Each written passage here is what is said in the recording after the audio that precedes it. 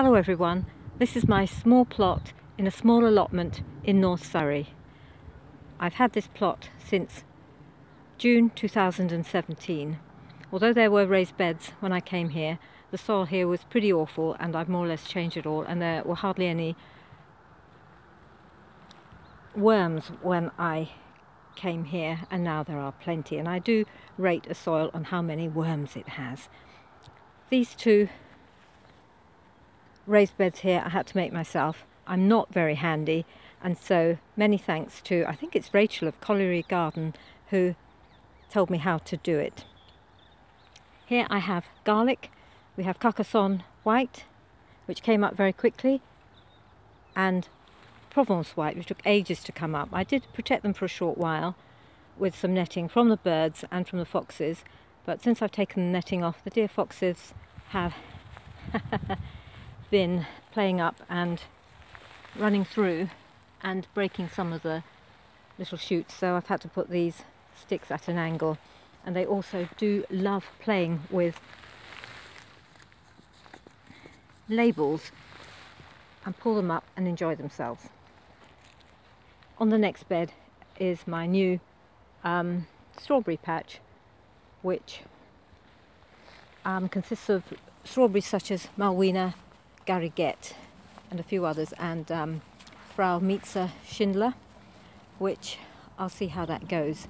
And then that's my main strawberry bed which um, I should have cut the uh, blossoms off last year and not let them flower or fruit but I'm afraid the strawberries went down my gullet very quickly. These I won't touch. Over here is Triteleia Triteleia laxa. It's a beautiful a blue flower which is about um, a foot high and the year before last on someone else's plot it was blooming for about six weeks. Last summer because of the heat it went over very quickly but she very kindly gave me some little bulbils or corms and so I'm hoping in a year or two to have those lovely flowers. Here is a plant that is as common as muck but I adore it. It's um, it's a double feverfew and it has a aroma to me that smells a bit like cat's piss but I love it because it's a memory smell and it takes me back. And it was such a wonderful flush of flowers. And I thought once I'd cut it off I'd have one or two flowers again. But I didn't. I had a second enormous flush of flowers and then a bit of thyme. Coming over to the strawberry patch. I'm not going to talk about strawberries today but in the middle is a space where someone had grown horseradish and it just keeps coming up. It goes down in winter, it comes up in the spring, and it's a fight to kill it off. These strawberries here are Florence, and the ones down there are something else which I can't remember at the moment. Uh, Marshmello, that's right. These three little shrubs are blackcurrant, Ben Sarek, and I've grown them from cuttings myself didn't have too much last year, but I expect to get much more this year.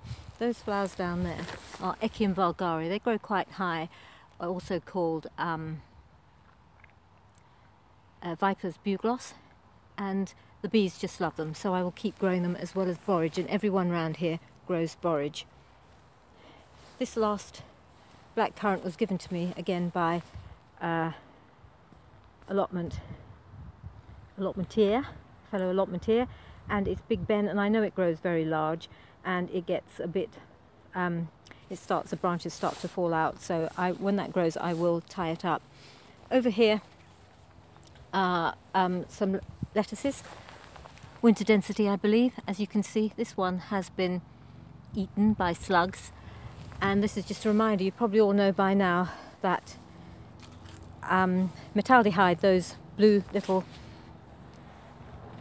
uh, tablets, pills, whatever you call them, um, are going to be uh, banned from 2020, spring of 2020. The next six months you can buy them and then um, you can use them for the next 18 months, but then they'll be banned. Um, I was too late planting.